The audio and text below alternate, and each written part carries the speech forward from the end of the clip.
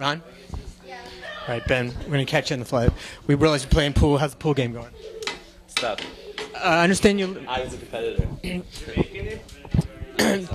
Ben, you might want to uh, give a particular word to uh, Grandpa Fred for the, the game of uh, straight pool that you were taught earlier today. What'd you think of the game? I liked it a lot.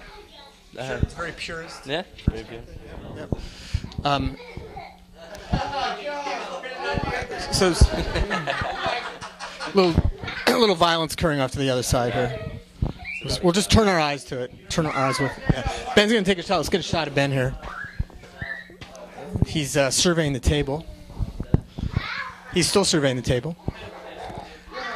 He appears to be going after the uh, 15 ball, or maybe the one ball. He's going for the one ball. Oh. Evidently, he's not good under pressure. Um, so school's going well, Ben, huh? Was one well. Yeah. We'll graduate this spring. Yep, yep. Ooh, that was a, that was a good shot. Uh, just a few more questions. We'll wrap it up. Um, what are you thankful for? Anything?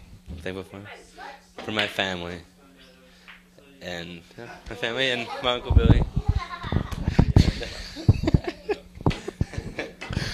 Um, anything? All right. Well, any any words for Grandma Fred? I mean, Grandma for Grandpa Diana and Grandma Fred. Grandpa Diana, Grandma Fran. Uh, miss you guys and hopefully I'll see you soon. All right. And I enjoyed some of the, the, the book. I enjoyed the book. That's good. That's good.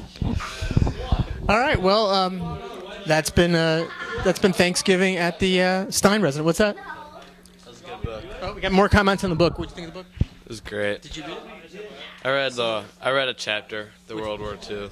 Yep. You find it interesting? Yes. Can you believe? Can you believe that uh, Grandpa Fred was in the war? Uh, yeah. They say he was a lot more muscular back then during the war. yeah. Let's hope so. yeah. Well, anything else? No. And that's a wrap.